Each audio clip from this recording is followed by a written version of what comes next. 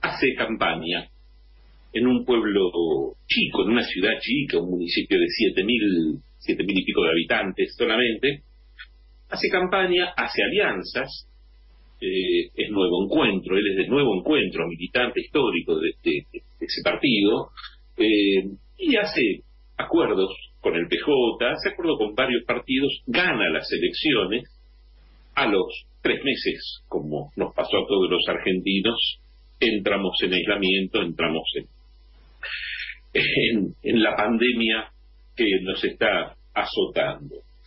Resulta que este hombre encuentra en algún momento eh, que algunos, algún empleado estaba truchando permisos para cruzar. ¿Por qué truchaba los permisos? Resulta que le resultó un buen negocio para gente que estaba obligada, pero no era eh, trabajador esencial, y eh, el hoyo de esa localidad se trata, está muy cerquita, muy poquitos kilómetros del Bolsón. Son dos provincias diferentes, para eso hay que cruzar la frontera entre provincias y para eso necesitaban tener el permiso. Como no accedían, algún empleado de la municipalidad decidió truchar y hacerse un negocito. Se lo descubre, el mismo intendente es el que lo denuncia, el mismo intendente. ¿Qué le pasa? Bueno, acuerdo dentro del Consejo Deliberante e intento de desplazamiento. Lo desplazan. Entonces, a ver, se puede dividir el, problema, digamos, en dos partes. En lo burocrático, cómo fue avanzando esto. Por un lado, el Supremo Tribunal, de mil personas, eh, y hubo una, una movilización de unos cuantos cientos de personas para defender la posición del intendente, para controlar que no tomaran el poder los que querían destituirlo. Eh, una, eh, una de las preguntas que, más nos hacemos, se hacen, etcétera, y que, me hice yo también, por supuesto, en estos días, fue cuáles eran los intereses que estaba tocando, qué interés estaba afectando, que debía ser muy grande, porque la excusa era muy pava, y debían estar buscando cualquier excusa para mover al intendente. Anoche tuve la posibilidad de conversar unos minutos con el intendente del 8, Paul Wisman se llama, y nos decía esto. Y acá estamos desmantelando un, eh, esquema de negocios que tiene que ver con, con, con negociado inmobiliario, con la venta de la tierra.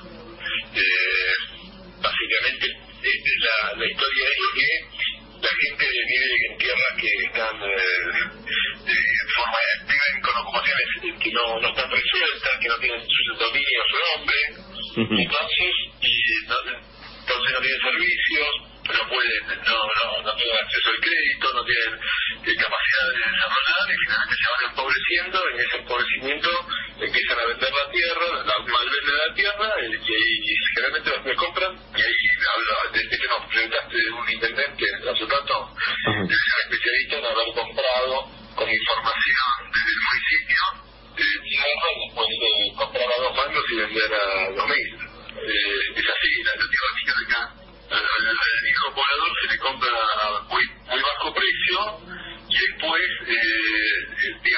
Persona que compra, si tiene acceso al municipio, eh, fácilmente transforma eso en algo de un valor inmenso.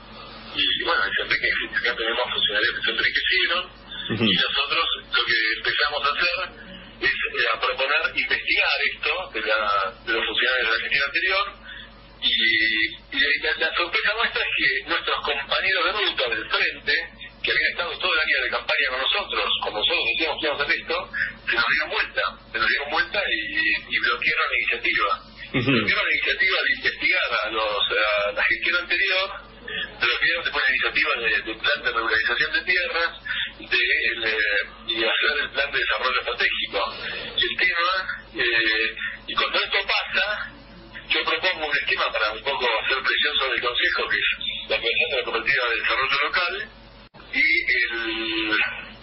ese momento, eh, esto cuando a ella me gusta, porque a la Cooperativa de Desarrollo Local yo eh, invitamos a que forme parte de las comunidades de pueblos originarios, la, la comunidad Lorenzo Burguero en Tuquirés, Leopoldo Quilodrán, eh, las cooperativas de Puerto Patriada, las cooperativas Río Puyén, bueno, las distintas cooperativas de productores, cooperativas de trabajo, cooperativas de servicios técnicos, eh, la asociación de, otra asociación de productores, y, y, bueno, y ahí ya explota porque se dan cuenta que, que, que estamos desmantelando un negocio.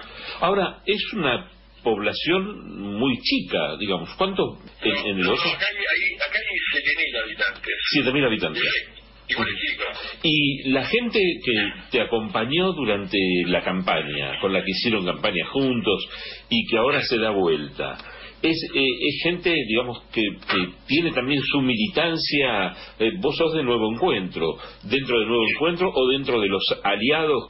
Claro, claro, no, no, no, no, justamente son de nuevo encuentro, son Ujú. de sectores del Partido Justicialista eh, y que bueno, que, que en realidad siempre habíamos sido adversarios, pero que nos juntamos para, eh, para ganar las elecciones y sacar a este gobierno que estaba antes y también para las elecciones na- nacionales eh, también ayudar desde nuestro pueblo a, a, a recuperar el gobierno nacional y popular.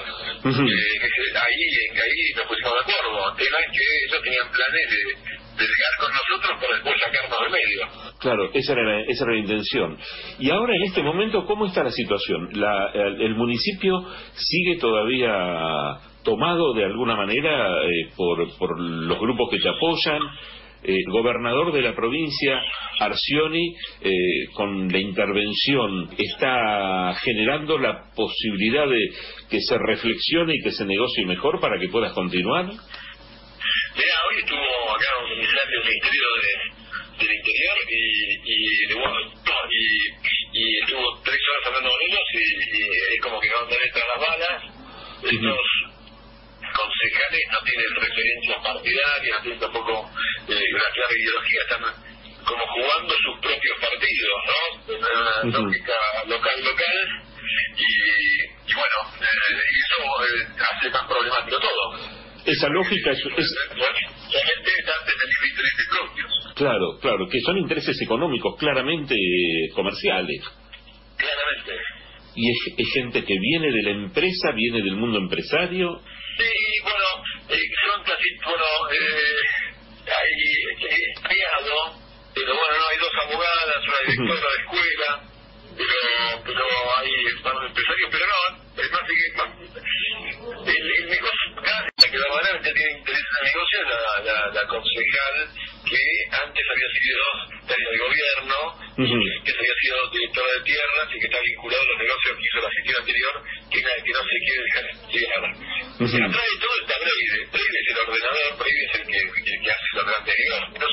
Claro. Y Breide es el que, el que, el que nos ordena, los, pone de acuerdo y nos eh, te da manija. No, no, no son tampoco nadie una luminaria, eh, son todos funcionales. Breire fue intendente en algún momento del Oso, ¿no? Breide fue intendente del 2007 al 2011. Y tuvo una gestión aceptable, digo, el pueblo lo apoyó.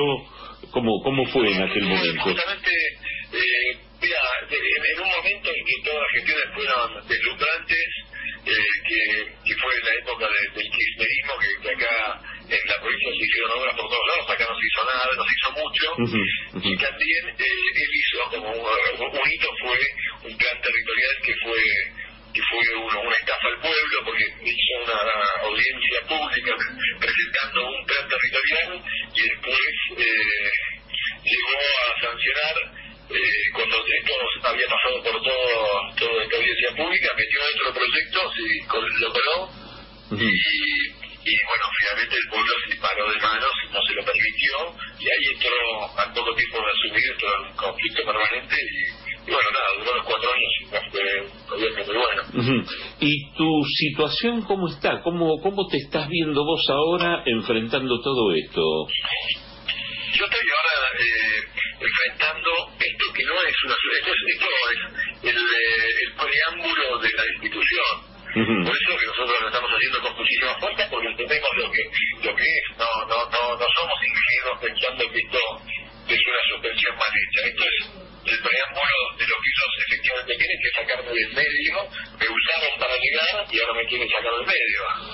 Entonces yo lo que tengo que hacer es la resistencia en este momento, eh, que estoy haciendo por, por la vía jurídica, y después, eh, bueno, en paralelo, el pueblo impulsó una, una ¿cómo se llama? Eh, la revocatoria, un proyecto de revocatoria que, está contemplado dentro de la ley electoral de, del municipio, que se junta un porcentaje de los del padrón, el 25% del padrón, eh, que avale la, que sea una revocatoria, que se hace, si eso, eso, eso sucede, se hace un plebiscito por sí o por no,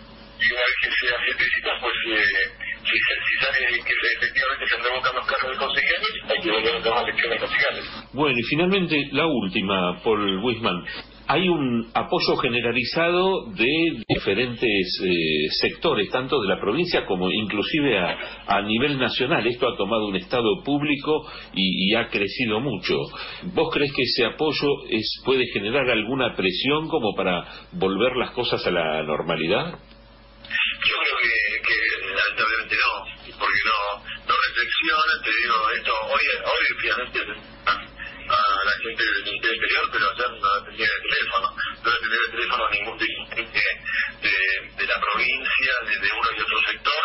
La única que más o menos se, mantuvo relacionada con su sector es la concejal de Campinos, que también es como la otra ordenadora. También Mario Reyes tiene una, base radical del PRO, y bueno, es raro porque también está vinculado con el sindicato de petroleros, Reyes pero pero es, evidentemente radical. Claro, claro.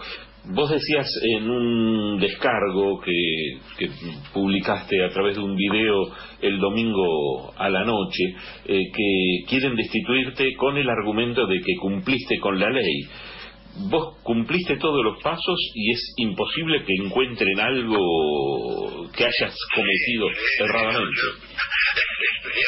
Nosotros también lo que están, incluso los alumnos con esta persecución permanente, seamos impecables, con otra que ser impecable. Bien, bueno, eh, Paul Wisman, eh, muchísimas gracias por este contacto y bueno, ya seguiremos atentos a lo que está ocurriendo ahí en el hoyo. Perfecto, muchísimas gracias a vos. Al contrario, muchas gracias, hasta luego.